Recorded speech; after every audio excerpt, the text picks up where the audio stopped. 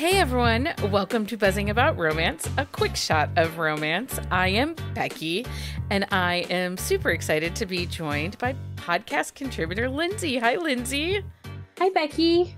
How uh, are you? I'm great. How are you? Good.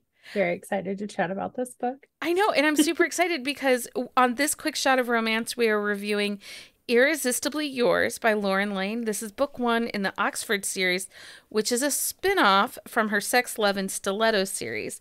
And they were published originally with the Loveswept romance line uh, through Penguin Random House. And you actually were like, why don't we talk more about this author? Why don't we talk more about these books? Yeah, and it's really funny because like Lauren Layne, a lot of her books are traditionally published, and I am like almost exclusively an indie indie author reader. But Lauren Layne is like one of my all-time favorites. She's one of my comfort reads. She's like a Sawyer Bennett type author for me, where like when I just need like a palate cleanser, a really good book, I always wind up going to her books. So this was actually a reread for me. um, me too, me also, but I think that so there's something I've noticed is that a lot of these authors that came out of this Loveswept. So in 2019, Loveswept was dissolved. Um, Penguin Random House stopped the line. It used to be their category answer to compete against Harlequin category. Um, and Loveswept was only digital copies of books. They never they went to a digital only format I think in 2016. And so a lot of these books now what oh this is 15. So it might be 2014 they went to a digital only um concept for their line of books. They no longer produce paperbacks. And Loveswept has given us some amazing authors. Sawyer Bennett got her start as a Loveswept author. Kelly Jamieson, Loveswept author. Um, so a lot of our favorites came right out of Loveswept.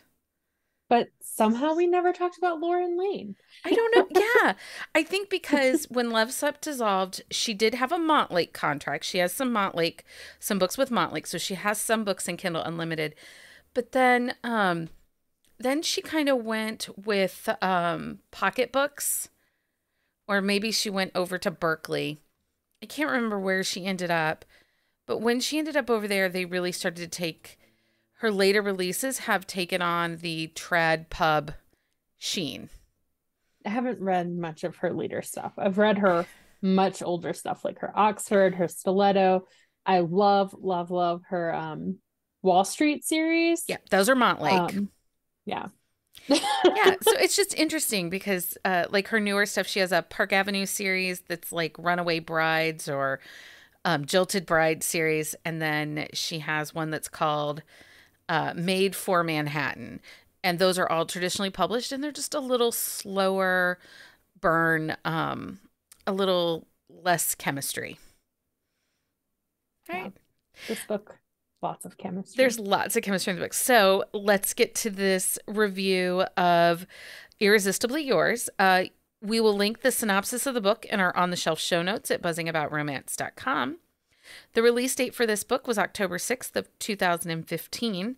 Tropes, instant attraction, coworkers. This also qualifies for one of our after sports uh, categories because they are both sports journalists. Um, yeah, so it's like baseball adjacent. It's baseball adjacent, which did not make Lindsay sad. Um, reformed Playboy, real bodied heroine, um, because our heroine, Penelope Pope, is described as being boyish in figure, short, flat chested, um, and without hips. And it was really so, one of the things that we try to do when we categorize body type, we want to draw attention to the authors that are writing on the spectrum, not just our plus size heroines, but also our, you know, heroines that aren't necessarily as curvy. Yeah. One of Penelope's big complaints is not having boobs. She talks a lot about her not having boobs, doesn't She's she? really not happy about that. I can't blame her though. I thought that was really realistic because like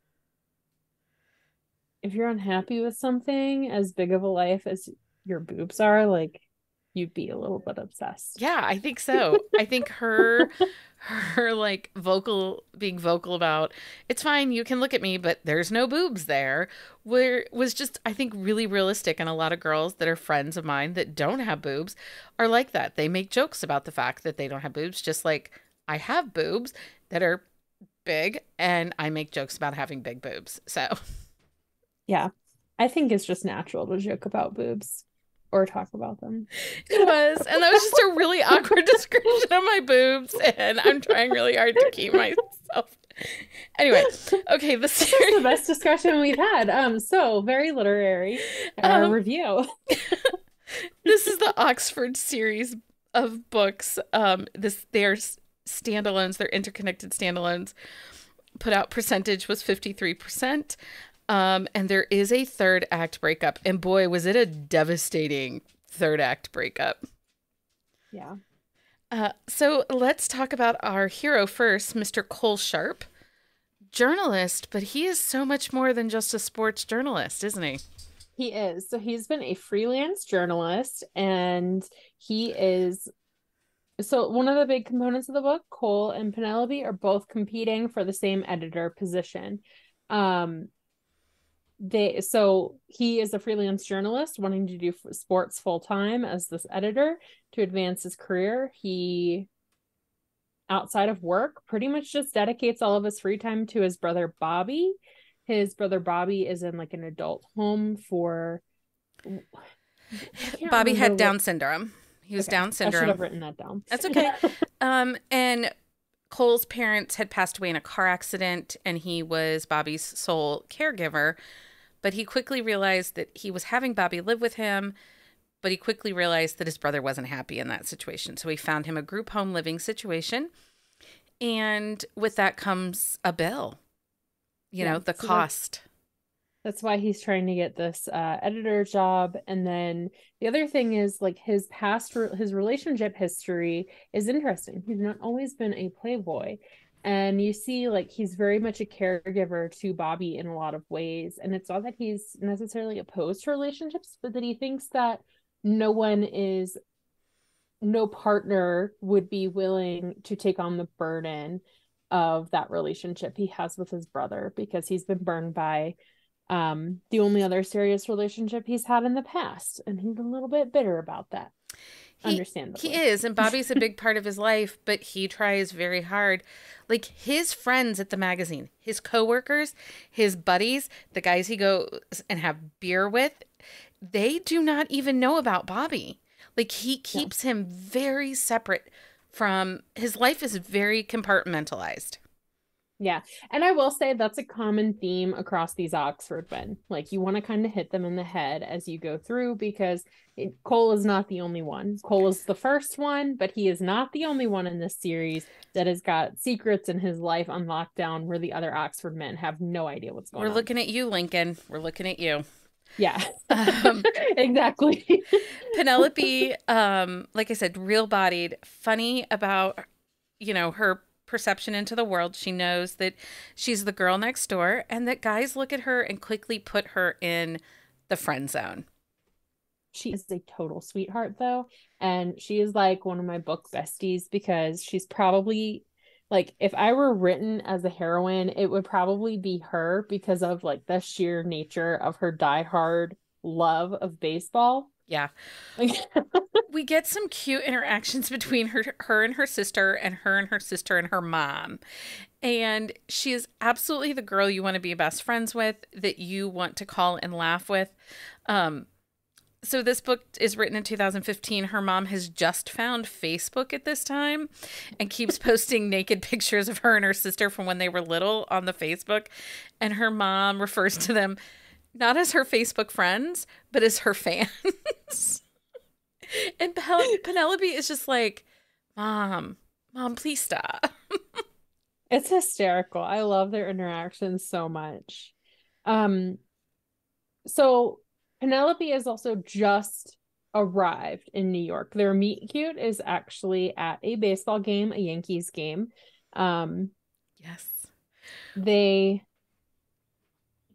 like he she catches Cole's eye because she is actually more invested in the baseball game than like any other person he's ever seen in his life. Right. They're in and- a they're like in a journalism suite, you know, where mm-hmm. there is food and there is drink and people are milling around and networking, but she is solely focused on that game and Cole takes note that she's actually paying attention and writing things down. But he doesn't know who she is until his boss shows up. Yeah and introduces them and says, I'll see you at the interview tomorrow. this book is so good. Like, there's so many funny interactions because, like, very quickly after they meet, like, Cole is off balance. Like, Cole is really off balance through a lot of this book. Like he's doing things that are out of character, and you can tell like you don't have to read the other books in the Stiletto series before this one to know like his persona because you get like cues from his interactions with Alex Cassidy, the boss. You get cues from his interactions with his coworkers and like what kind of person he is. And like you can just see like in a lot of those interactions, like he is off his game. He is not doing the things that are Cole like at all. No, and people are noticing. There's a really great scene where he goes to flirt with the receptionist to find out if Penelope's interview is over or not and how it went. And, and then he realizes she's still in there. Yeah. Yeah. and he interrupts it. Like he walks in on her job interview. Yeah. Oh my god, it was um it so funny. And I think Penelope is so funny and quirky as a character. I also thought it was great she eats and food is her love language. Like her sister often has to remind her that hot dogs are not the only food you can eat, that you must get nutrients from other things. And there's a scene where she's mowing down on Doritos. Yeah, she's so funny. And then like she's got these little game rituals where she's got to get like a hot dog at the game and she's got to eat the hot dog while she's there. And if it's a new team she hasn't been to before, she's got to get a hat. But like she goes to the Mets game and she won't get the hat for herself. So there's like she's got all these cute little quirky things and I love it because it is like you get so many um sports romances where you get like the player's perspective, but like they capture with Penelope the true fandom of a sports fanatic and it's so like the fact that it's not Cole and it's her just makes it like so adorable. Yeah. And well, and there's some really sweet interactions with her and like baseball. Like she goes in search of games and she isn't just doing it for a job. It's a love of the team. It's a love of the sport even though she's an implant from Chicago to New York, you know. Um and there's also a really great interaction between um, Penelope and Bobby because she happens upon Bobby and Cole at a baseball game. And um, that's when she meets and learns about Bobby and Cole's relationship. And it was just so sweet because she was as ex- Bobby was as ecstatic about baseball as she was. And it just created you just love her that much more. And I think for Cole too, he loved her that much more in those moments. Yeah, and that was really pivotal too for her and Cole's relationship shift because there was attraction. They were starting to have like a friends with benefits situation, but that really pivoted it into something more. Like Cole realized that it didn't have to just be casual, that he could start letting her in because she didn't run for the hills um, about his commitment. She she wound up loving Bobby too. There's a great a great quote that Cole says that I just loved in this book. And it was everyone acts like the moment you realize you're in love is this big gotcha moment. But they're actually a moment after that, the one where you realize you could lose that person you love. And I was like, that explains this book. Like, he slowly realizes that it's more than just that one moment when he's instantly attracted to her.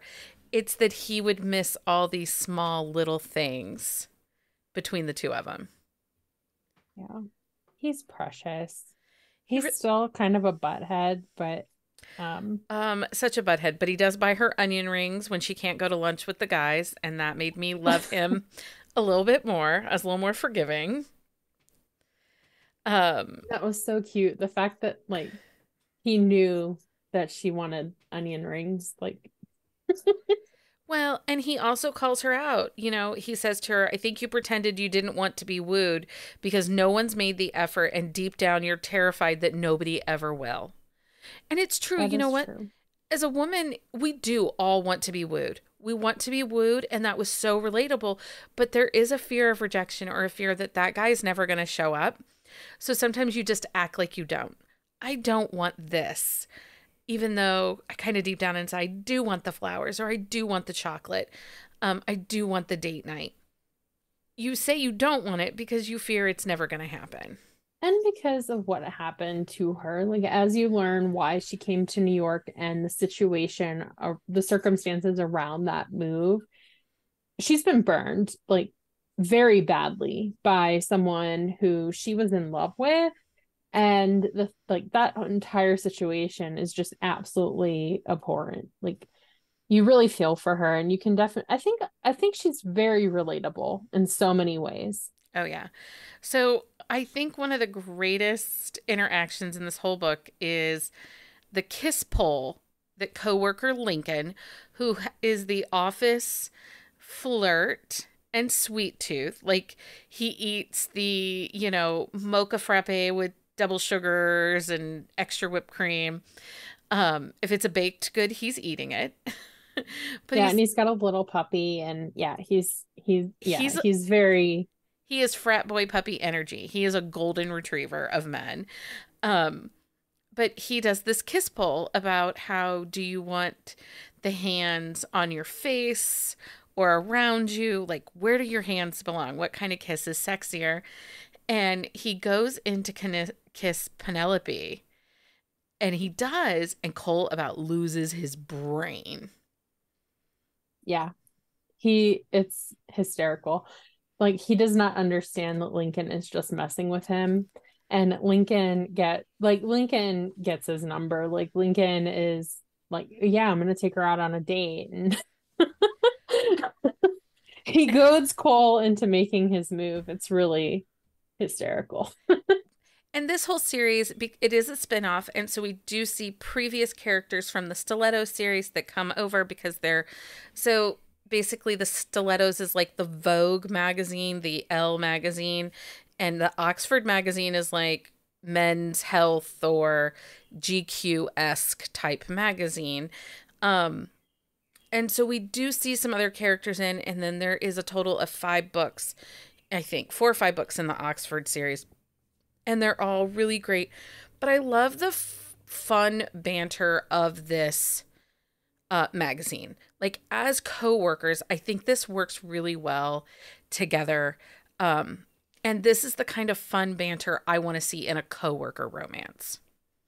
It is, and they're they become like very much a found family. And some of the things I love about the series is that like even as care like I think about Elle in particular because even as like she becomes very close with the friend group, like she's still the quiet, reserved friend. Like you still the, it's very very relatable to like a real world girl gang, um, and their interactions and Yeah. especially in the way they just like adopt Penelope into their fold. It's very much a more more the merrier Oh, kind of situation. for sure. There's an awkward dinner party where they're working really hard to pit Cole against Lincoln for to vie for Penelope's attention.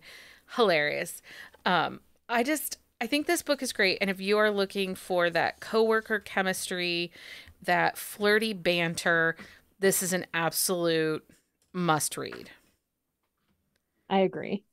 Um, I think it's very similar. If you liked uh, Vi Keeland's The Invitation, I think it has those same kind of vibes, except they're not boss employee; they're just co-workers. They they're equivalents, um, but it works really well. Yeah, but it's not as like I wouldn't say it's more definitely contemporary. It's not there are funny situations, but I wouldn't classify it a rom com. No, I wouldn't say it's a rom com, but there there are funny, funny situations.